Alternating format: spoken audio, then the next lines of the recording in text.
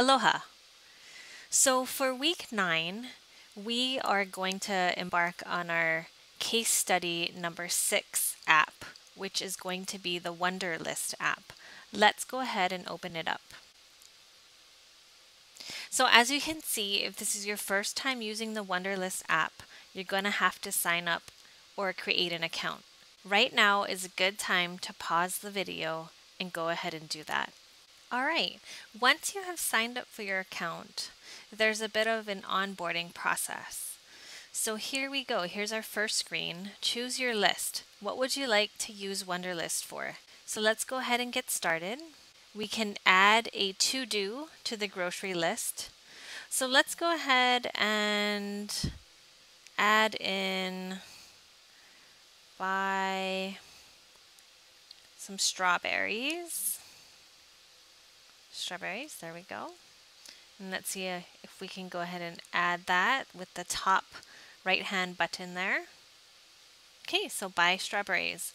What else do we need um, at the grocery store? Let's go ahead and buy, actually we don't have to say buy, we could say blueberries. Uh, blueberries. And we can go ahead and add that. Okay, great. So it looks like we can add things to our grocery list. Let's see if we can actually add another list. So let's go ahead and push the back button here, which is the top left-hand corner. And we can actually create a list. And you got it, we're gonna create a CM160 list. So CM160 it looks like you can also go ahead and add people to this list right here. Um, and if you want to add them, you can add them by your contacts or you can add them by an email address. So for right now, let's just go ahead and say don't allow. And if you want to have Wunderlist send you notifications, you can go ahead and do that right now. But we're going to say don't allow. And let's go back so we were working on creating our CM160 and let's go ahead and create that list. So for week nine, um, we're going to add a few things to our to-do list. We're going to um, watch intro, intro demo to Wunderlist app. So we're going to add that. And we're also going to go ahead and we have assignment number nine is assigned this week too. So let's go ahead and add that in. All right, so pretty, pretty intuitive here. Um, let's see what happens if we press, so we're going down to the tab bar navigation and we can share, which we already know how to do that. We can sort, so let's see what the sort allows us to do, which is that middle tab.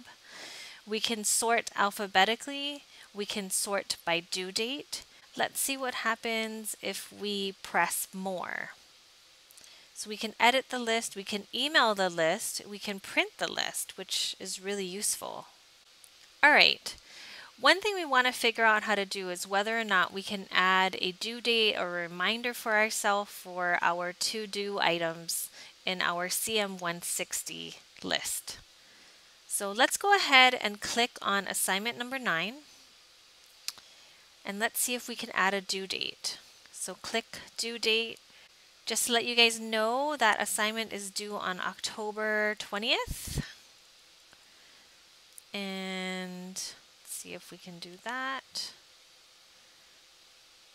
So due October 20th, it's going to send me a reminder at 9 a.m. on October 20th. You can add a subtask to that. You can add yourself a note, maybe perhaps when you want to do the assignment. Any questions you might have for me, you can leave in the note section. You can add a file or you can add a comment. So let's go back. It looks like you can also star an item. So let's see if we can star that item. And when we star that item, it actually goes to the top. So I'm really curious about this edit button on the top right hand corner. Let's go ahead and click that. Okay, so notice that the tab bar has changed on the bottom and we're able to now make a selection here. So let's go ahead and check off here in the little circle next to the first the first to do item and let's go ahead and hit complete.